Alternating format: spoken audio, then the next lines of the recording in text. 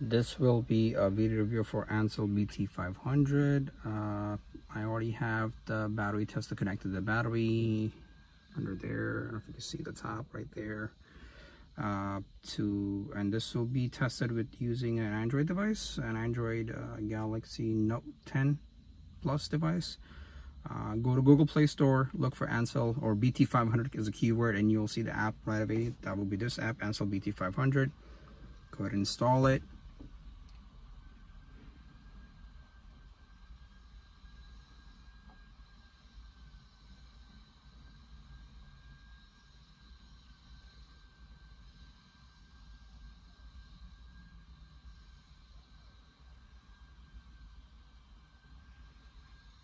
I'm pretty away further away from my Wi-Fi router. That's why the speeds are being, being a little slow, but yeah, looks like it's finished.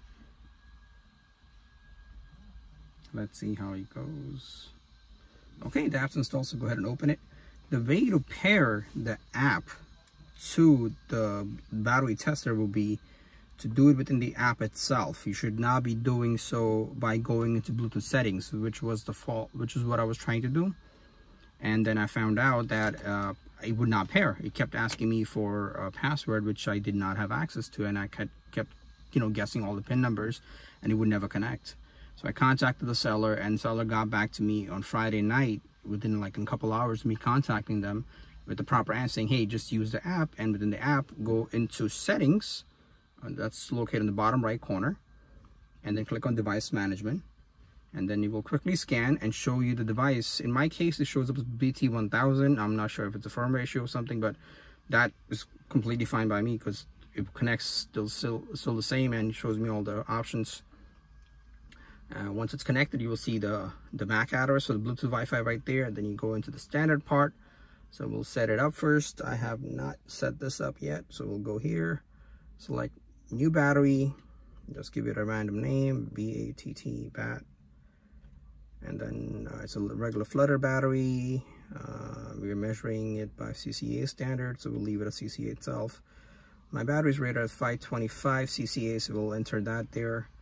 And it's saved so we'll click on test now. And then hopefully within a minute we should have our results. The car's off right now so we're just pulling a test everything being off. Perfect. This is a two-year-old battery right now. It's showing me 65% uh, health with 423 CCAs rated CCA, which is good enough as we run me whole, the whole winter for it. The voltage being 12.79, which is still pretty healthy to me at this point. Uh, the best part is actually if you have a profile for battery setup in there, you can have multiple profiles. If you already have one selected and you're using it in the same car for testing at a given interval, you can keep testing it by tapping on the little test piece over there. And it will log the results which you can export out if need be. And it shows you the date and time and the battery you tested it for right there. So it shows you the date and time for the first test shows me the date and time for the second test performed up there on the top. And it will log subsequent tests like that. Just make you can scroll back to like weeks or months worth of data and see hey what the last battery was how fast the battery is depleting. So you can see i ran two tests back to back a minute apart and cca capacity same thing the voltage is the same uh, the only thing is the resistance is slightly off higher for the second test, but so that makes me believe this is pretty reliable system to have and portable. Uh, let's, you want to test over here. This is the quick battery testing, charging system test, I think.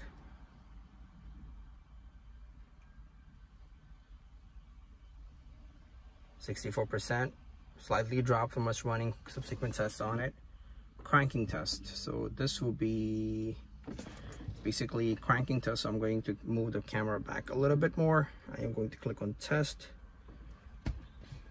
Oh didn't click it.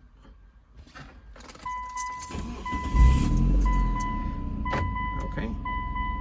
9.68 is the lowest voltage drop to cranking test. So system's okay. 180 milliseconds for cranking the car and again shows the date and time on top for logging purposes or you want to keep record for it so we are going to go to charging system test which I'm a little curious about what the results will be uh, let's click on let's make the RPMs 2500 to 3000 RPMs first.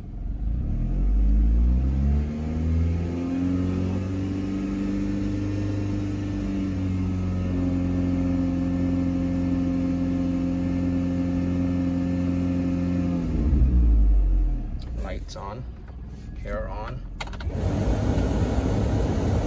RPMs 1500 to 2000.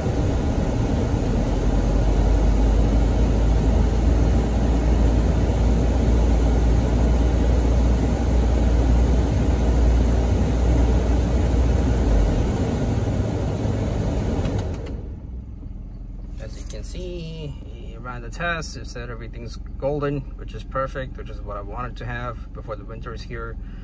Uh, everything's in the mid-range area. Uh, charging quadruple is 5 millivolts i have to look that up what the values mean but the two first two letters are perfect. Uh, all right so yeah that's it.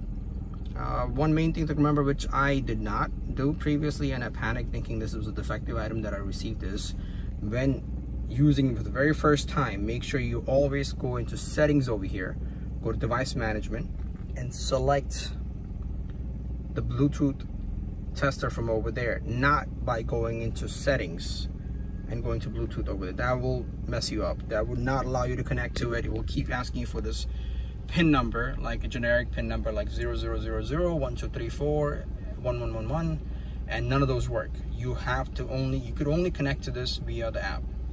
So keep that in mind.